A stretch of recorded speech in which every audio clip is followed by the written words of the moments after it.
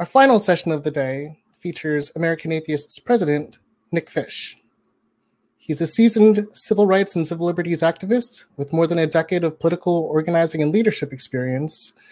He's been with American Atheists in various roles since 2012 and has been the president of American Atheists since 2018. And considering all the things we've talked about, it's a perfect capstone to the day. He's going to talk about where we go from here. Boss, Nick, take it away if you're here. There we go. Uh, sorry about that. well, thank you for the, the very kind introduction. And I just want to, um, once again, just thank all of the really outstanding panelists and speakers and moderators that we've had today. Um, you know, I think that this conference in particular and, and the, the topics that we've chosen to discuss really are a, an important cross section for looking at how we proceed from here. What what is going to come next? Um, because I, I, think we're we're really at a, a point in American political culture and American culture more generally where the tide is shifting, where where the ground is shifting under our feet, and how we respond to those changes um, really are going to determine what happens next. Um, and that's something that Allison did a really fantastic job talking about um, earlier this afternoon, um, and something that I, I think all of us should spend a lot of time reflecting on and, and thinking about um, as far as how we um, calibrate our activism and, and, the things that we want to emphasize moving forward. Um, and so I, I, want to refer back to uh, a quote uh, from Madalyn Murray O'Hair, And um, this isn't one of her more famous ones, and it's sort of an idea that I think a lot of us um, have had, but it's something that is, was in her writing that I found really resonant. Um, and it, it was um, I don't care whether or not I succeed uh, or whether I fail as long as I'm trying, but I hope that I succeed. And I think that's uh, right at the core of what we do here.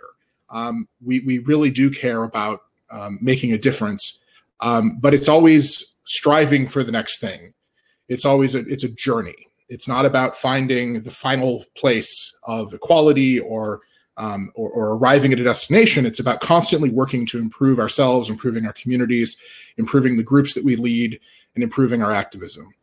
Um, but I do think it's important to hope that we succeed and to do everything we can to succeed because we're talking often about life and death, um, life and death circumstances for the people around us. We're talking about um, very real impacts on people's lives when we're talking about public policy, um, when we're talking about politics, when we're talking about communities, when we're talking about any of these things. We're talking about um, how that intersects with people's lives. And um, unfortunately, um, too often those are seen as games or, or an academic exercise, when in fact it's it's anything but. People in um, communities throughout this country, especially highly religious, highly controlling communities, um, face life and death consequences because of their lack of access to things like healthcare, uh, because of things like supportive communities. They, they have profound mental health um, challenges and and repercussions because they're not supported. And that's something that our survey showed. It's something that, that we collected data on and was crystal clear that, that the experiences of atheists who live in places like New Jersey or New York or, um, or, or, other cities are very different than those who live in um, places like rural Alabama or Arkansas or uh, Wyoming or even small towns in what we would consider blue states. And I, I hate framing things in that political way but it's often kind of how we think about these things. And so um, I'm just going to use that terminology. Um, but people experience their atheism and experience religion in very different ways depending on where they are in this country. And this is a very big country with diverse experiences. And you've heard it in many of the panels. Um, we just heard from folks who are parents, um, many of whom who were, I think all of whom, were not raised in particularly religious environments, but still struggle with every day navigating uh, the, the challenges of being an atheist parent in the United States because it is a very challenging place to be. Um, so I think we need to be upfront about confronting the reasons why things that we do don't work. Um, really interrogating our failures and, and doing everything we can to do better. Um, and so that starts with looking at places where advocacy hasn't worked. Um, and I think that's a really crucial place for us to start today. Um, one of the things that we failed at uh, for years was engaging with allies, finding people who were uh, who shared our values, but uh, on one particular topic, but maybe disagreed somewhere else, um, and not engaging with that, not engaging more broadly, and branching out and finding um, people to help us build power. Um, the way that you exercise political power in the United States is to build a coalition, to build partnerships, and to find allies. Um, and that's something that we've put a, a huge amount of time and resources into over these past few years. And it's something that I know um, all of my counterparts throughout the atheist community and the, the secular groups work very hard at uh, because we recognize that um, we're right on the, the edge, we're right on the precipice of exerting real political power. It's something that Congressman Huffman said last night that we're, we're really growing up right now and that we have an opportunity right now if we can seize it, if we can build that power. And so, step number one is finding those allies. Um, another re- place that we've, uh, another reason that we've not succeeded in the past is stigma, and that's something that you know it's not it's not our fault. Um, the stigma that our community faces is endemic. It's something that um, has extended for generations. Um, and so, you know, failures aren't necessarily just on us. Sometimes they're big structural things that we need to confront and that take quite a lot of time. And so, uh, we need to work better to break that down um, and confront that stigma uh, wherever we can. And there are lots of ways to do that. And you heard um, many ways that we can confront that stigma and, and work to break down prejudices and, and um, sort of undo years of learned uh, stigmatization uh, for for religious folks who uh, you know look at us and are very scared sometimes. Um, the other thing that we've done that we need to do a better job on is siloing our activism, siloing the work that we do. So staying very narrowly focused um, not just on our issues, but also um, within our organizations. So collaborating more, being in contact with our allies, our friends, and making sure that we're working on um, the same issues or um, our, making sure our messaging makes sense together and not duplicating efforts. And that's something that um, I'm really pleased with the way that uh, this community has risen to that challenge over the past few years. Um, we've really gone out of our way to be as collaborative and, and um, and and uh, in communication as possible, um, so that we're not duplicating efforts. We have finite resources, and I think as uh, some other folks have mentioned, uh, certainly in the elected officials side of things and in the Christian nationalist uh, panel, the other side has resources that we could only imagine. Um, a recent survey that was put out by Christianity Today um, said that the other side spent uh, in the last year something like 150 million dollars on so-called religious liberty issues and another $50 million on anti-choice and anti-lgbt advocacy specifically um, that type of resources we can't come up against we can't compete with that if we're not collaborating if we're not um, sort of sharing what we're doing and we're not being efficient with our, our time and our money. Um, and so that's that's a key part of this as well. And finally um, i think one of our failures has been sort of an over focus on the hypothetical, on on not focusing in on the real world implications of the work that we do, how this uh, all this stuff interacts with people's day to day lives, and that really is a key part of what so many people today have been talking about has been really emphasizing how families and you know the groups that we put together um, have an impact in people's day to day lives. Um, and so, uh, you know, that's interrogating that and really looking at some of those failures. Um, I think is has to be the first starting point. Uh, but you know, this isn't all cause for concern, or there's there's a lot here that we've succeeded at as well. Um, you know, we we have groups that are um, emerging out and really being highly successful, that are making a huge difference in their communities. Um, they've done fantastic work branching out um, and and being real forces within the community for good um, and that really heartens me and, and gives me a, a, a lot of uh, a lot of hope for the future. Um, one thing that you know folks have, have mentioned throughout this uh, this this pan- these panels today is that we have a lot of catch up work to do on churches. Um, churches have had decades, centuries to build a lot of these structures uh, that we're just starting out with, and so finding um, places where we can borrow from them things that fit within our values, but that meet a need um, that isn't exclusively uh, that isn't the exclusive property of a church. Um, that's what we should be doing. Um, the family panel spoke to that, and I, and I think a lot of our, um, our local activist folks spoke to that as well.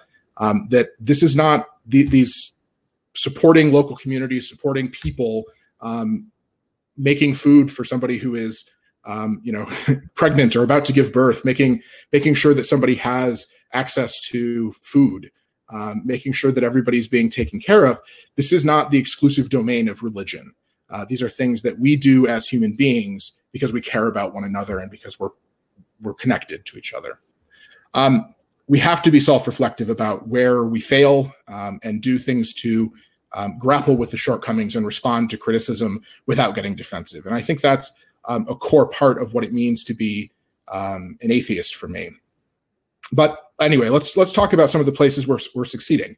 Um, we started with um, number one, which I, Allison mentioned, and, and I, I really want to congratulate her on and, and thank her for, is getting a better understanding of our community. Um, we claim to care a lot about data and facts and figures, uh, but we didn't have a real comprehensive look at what our community looked like. We didn't know what our community cared about most, and we found some really um, interesting information in there that can help us guide our activism as we move forward. But it also is information about the experiences that people face and allows us to dedicate time and effort and money uh, to developing resources to help people.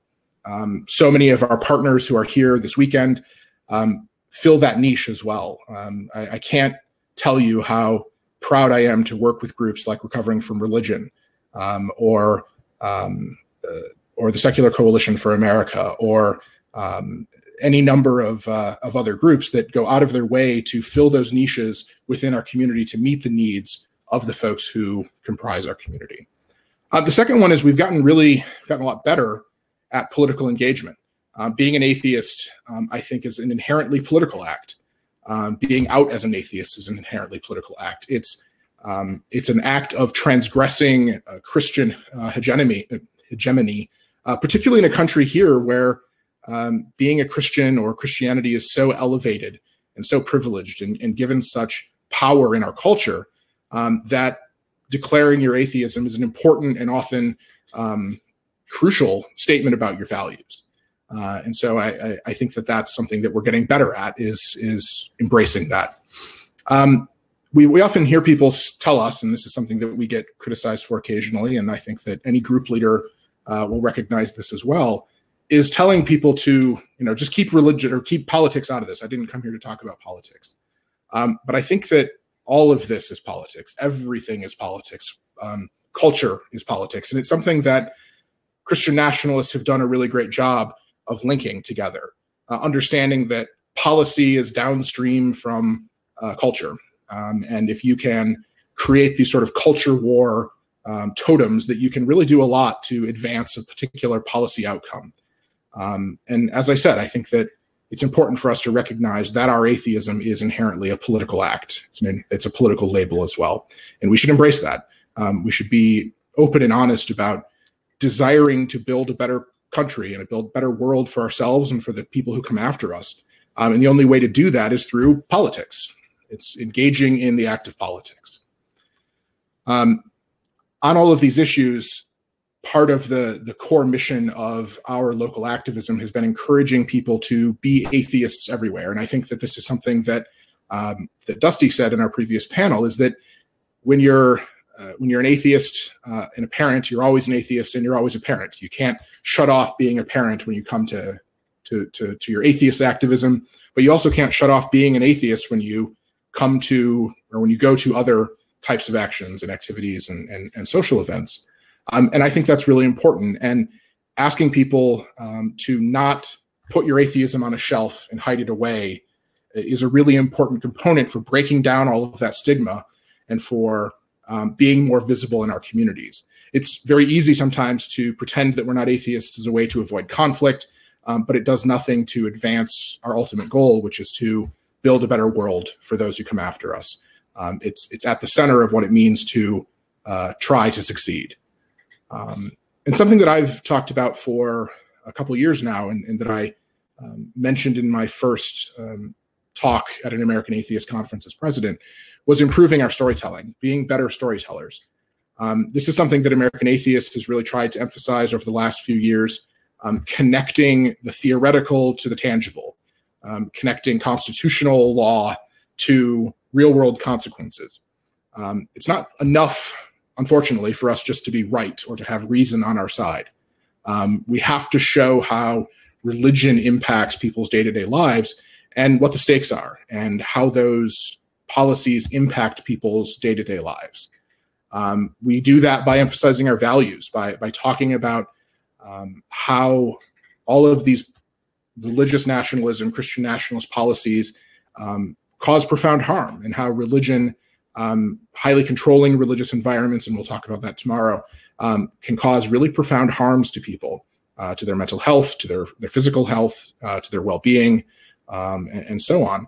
Um, and you saw a lot of those values on display this weekend. Um, values like people coming together to ensure that no one in their community is going without food, um, making sure that families are supported, uh, that we're building communities that look like the surrounding area and that are as inclusive or more inclusive than the broader culture.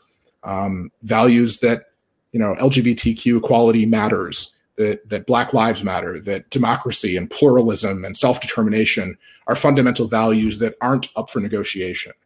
Um, all of those things and, and living those values says who we are and allows us to find common ground to build that political power with potential allies. And that's crucial if we're going to be successful. Um, going hand in hand with that is thinking about how we're approaching um, the activism that we do.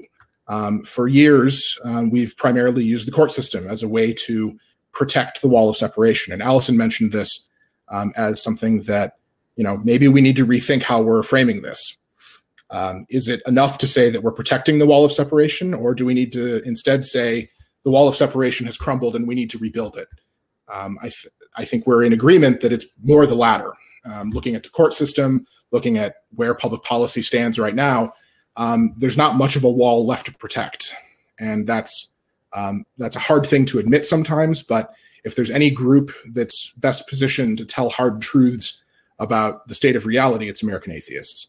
And I'm really proud to uh, lead an organization that's willing to say that sometimes that that these hard truths need to be addressed. That the wall of separation has um, been under attack for decades, and that now we need to rethink how we talk about it and how we um, rebuild it at this point. Um, I've, I've talked about this a lot that it's really appealing to us um, as atheists and the way that we've many of us came to atheism to think that um, the courts are always on our side and that if we just make the better argument that we're going to win. Um, that's I, I, saw some conversation in the chat about stuff like that as well, um, and that can be an appealing fiction that we tell ourselves. Um, but when the courts are deciding that churches should be allowed to ignore public health directives because grocery stores are open. Um, I think we've entered a place where no matter how good your argument is, it may not matter. And that sort of realistic approach to things is something that we need to grapple with. That um, it's no longer enough, or it's never been enough, just for us to make the better argument. Um, we have to think outside that system. Um, this is a side effect as well of our movement sort of coming to age at what was sort of a ahistoric time in our nation's history, where the courts were used as a vehicle to advance civil rights. That's not always been the case, and in fact, that's very rarely been the case uh, in our nation's history. And so we're at a point now, though, where we have um, the, the beginnings of popular political power. Um, Congressman Huffman mentioned this, where you know we're talking about an organ, a, a community or a, a demographic that now represents more than a quarter, um, somewhere between a quarter and a third of Americans. We can seize political power and work to build a, a country that reflects our values if we're willing to engage and if we can get organized. Um, and you know the the the courts are not going to be there to protect us um, in in the coming years because of the structures of the court and what's happened in recent years. And you know this is a really pessimistic way of saying that we need to think outside that very narrow box. Um, and so that's what we're doing. They can't be our be all end all, the courts anymore. We, we have to focus on political organizing and community building and building grassroots power. And, and that's what we're going to keep doing here at American Atheists. Um, the unprecedented expansion of religious privilege under the previous administration and that's been undertaken by the courts um, is a threat. It's a threat to our uh, core values every single day and as I said, it puts people's lives at risk. Um, and it's, uh, I mean, it's an assault on common sense, and we have to mobilize to push back on it. Um, and that means uh, popular democracy, um, and that means not just relying on the courts to do it. Um, but this isn't all doom and gloom. Um, there's a lot to be hopeful about. Um, we have a congressional free thought caucus. I, I was speaking with Congressman Huffman yesterday before we started the, the session, and I said it was you know unthinkable just a few years ago that a sitting member of Congress would speak to our community and that we would have this caucus. And, and that's thanks in no small part to the incredible work of our allies and our partners at, um, at the Free Thought Equality Fund and the American Humanist Association, the Freedom from Religion Foundation, and Americans United, uh, and MAF, and the Secular Student Alliance, and the Secular Coalition, and the list just goes on and on and on, um, where we've all worked together to get to where we are now. Um, and that's a cause for profound, um, profound hope. Um, but we also have to recognize that only 24 states have open atheists in, in their state legislatures. Um, when we know that atheists are in fact everywhere. so we need to run for office. We need to to make sure that this is not a political albatross around people's necks. That we we support people in our community that share our values that are running for office, um, and, and, and continue to destigmatize uh, serving in public office as an atheist. Um, we also have demographic change on our side, but I think it's important to recognize that this is not a magic bullet. Um, that people always say, ah, in five years it'll all be this will all be better because demographics will have changed so much. You know, this one group will have died out. Young people are um, just as evangelical as um, sort of middle-aged folks, where a lot of the, the losses for religious groups are coming from mainline Protestants and Catholics. Um, and so there's a, a, high chunk of evangelicals, especially in college campuses, um, that uh, is sort of masked by the decline of uh, mainline Protestant uh, groups as well. So um, it's unclear exactly what that's going to look like in a few years, but we can't take it as uh, fait accompli that that you know demographic change is going to be is going to win the day. We have to continue advocating for and arguing for and um, getting out there and, and, talking about our positions and, and, talking about our values. And that's what we're going to keep doing. And that's what so many of the groups that you all lead and that you all are members of in your local communities, that's the crucial work that you do every day that we can't replicate uh, from a national organization, that it takes people on the ground working hard every single day, volunteering, getting out there. Um, and that's, that's crucial. Um, that plays into the last bit of this, which is destigmatizing atheist identities, um, making sure that um, no one faces discrimination because of who they are and what they believe or don't believe. And it's not just enough to have quote unquote famous people, uh, people who uh, you know are celebrities or, or, athletes or whatever. That's that's helpful sometimes. Um, but what's much more impactful is the people in your communities, um, talking to your family members, talking to the people that you go to school with, talking to the folks that you work with, and breaking down that stigma. And, and all of you do that uh, every single day. And I'm incredibly grateful for it because it's the most impactful thing we can do. But it's not, but it's hard work and it takes time. And I think that that's the most crucial thing that we need to recognize today is that all of the work that we do is going to take time and it takes investment and it takes effort and it takes energy. And we're incredibly grateful to have um, people in all 50 states that are willing and able to provide all of those things. Um, and so, with that, I will um, just close with a thought from uh, Tracy Benefield that I uh, just one thing that I want to repeat because I thought it was so great of speak up, be brave, don't be afraid to speak on behalf of all atheists because there's no pope of atheism. Just go out there and um, and be brave. And thank you all for doing that. And I think we can bring back on Debbie now. There she is. Hi, Debbie. Where's my tab? I clicked the thing. It was gone. Welcome back. Um, I'm happy to say I think we have some time here for um, a few questions as well.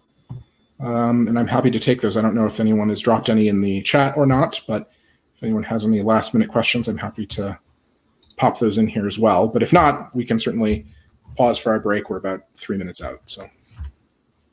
Do you think we're winning? Yeah, I do. Um, I think we're winning in a lot of ways. I think that, um, and you and I have had this conversation, and I see my cat has joined, so that's great. Um, um, I think we are winning. Um, I think that the these sort of throws, these last throws of a, of a shrinking group that's seeing its demographic and its political power shrinking are, are going to be really damaging, though. Um, I think that the the anti-democratic institutions or inclinations of this group are a threat to the American political experiment. I think that um, we're, we're, we're seeing lots of people right now um, really grapple with Christian power and and you know really the evangelical Christian power that is um, you know that, that's a threat to their health and their well-being, as I mentioned, um, and and it's sort of cold comfort to say, hey, we're winning when you live in a state where you know your a doctor can turn you away because they don't like that you're trans or that you know your family can be excluded from adoption and foster care uh, because you're in a same-sex marriage uh, or any or you're denied basic social services because the only provider in your community is a religious provider. And we've you know gutted a social safety net to such an extent that um, people have to rely on religious groups. Um, that's cold. The, the, the idea that we're going to win in five or six years quote unquote win in five or six years is cold comfort for those people who, who need the help right now. Um, and so i think we um, we can't just let sit back and let let the success wash over us. Um, we need to go out there and, and grab it and provide and make sure that we're taking care of the people um, and doing everything we can to speed up that process um, and just make sure that nobody is left behind in in this in this process. Left behind. that wasn't. I will say that was intentional. yeah. That's true. Um, there's a great question. How should we be engaging religious organizations, uh, even Christian organizations, in good faith? I think it's a great question. The thing that's most important for us, and, and we do engage with religious allies, is come at it from a place of values. Um, we're really proud to partner with groups like the Religious Coalition for Reproductive Choice or Catholics for Choice on reproductive health issues because there's common ground there.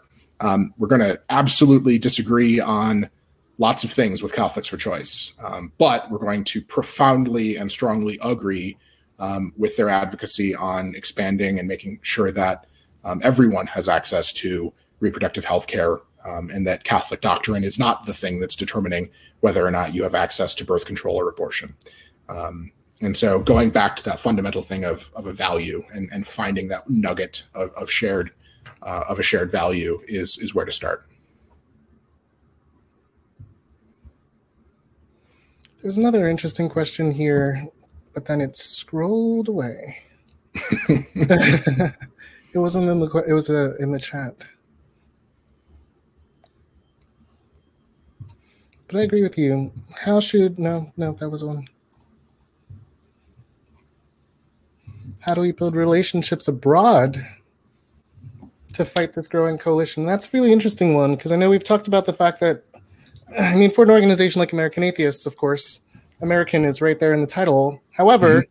yep. it's clear that the groups that we're fighting against are not just dangerous in America, right? Like yep. the Alliance Defending Freedom, one of our right.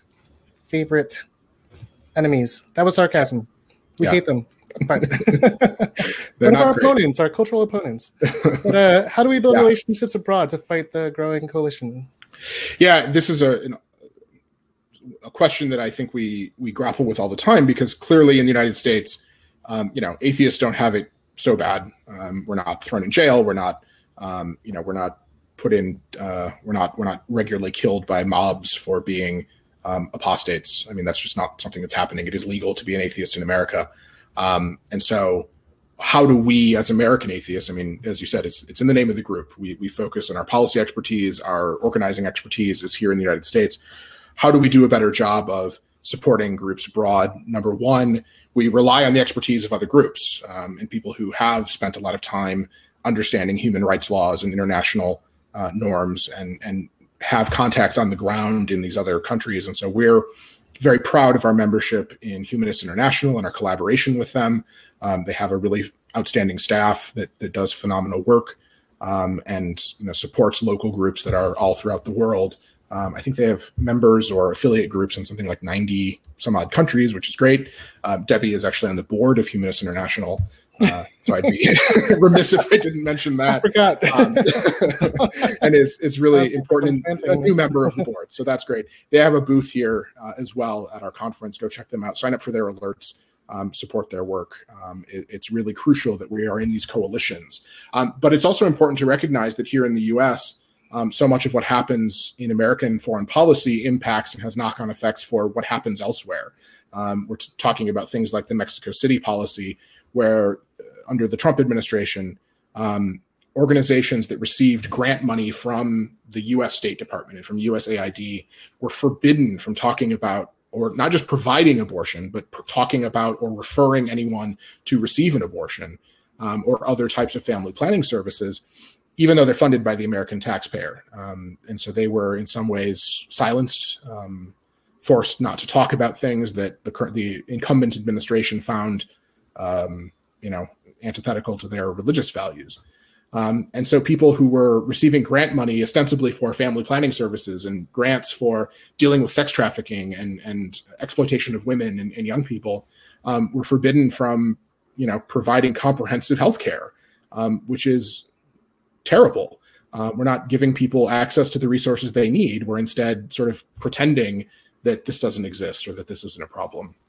Um, and as Debbie alluded to, uh, because they've found less and less success in American politics, some of these groups have exported their hate, have done the things like the, you know, the kill the gays bill or the, um, you know, banning discussions of, you know, LGBT issues um, and that's a that's not an uncommon thing.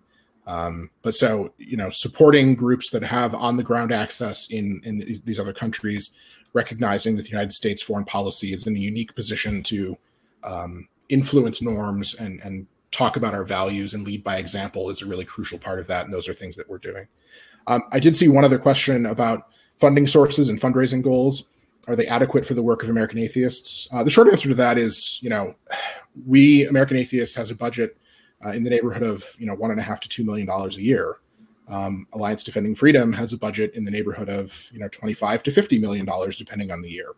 Um, and so, you know, we need to start, and this is something that we've spent a lot of time doing, is um, laying the framework and laying a groundwork for um, more robust systems, more um, expand easier expansion, slow, steady growth of the organization over time, so that we're not put in a position where it's you know there's only two or three of us doing this. American Atheist right now actually has more staff than we've had at any point in our history um, since the the, the mid '90s, since the um, the deaths of uh, Madalyn Murray O'Hair and um, the O'Hair family. So, um, you know, we're we're growing slowly and steadily.